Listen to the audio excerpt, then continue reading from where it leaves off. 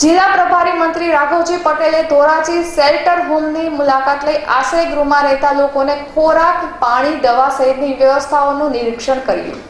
સંભવિત બિપરજોય વાવાઝોડાની વિનાશક અસરોની ઓછામાં ઓછા નાગરિકો અસર પામે અને જનજીવન યથાવત રહે તે માટે જિલ્લા વહીવટી તંત્ર દ્વારા સ્વૈચ્છિક સંસ્થાઓના સહયોગથી ભરપૂર પ્રયાસો કરાઈ રહ્યા છે.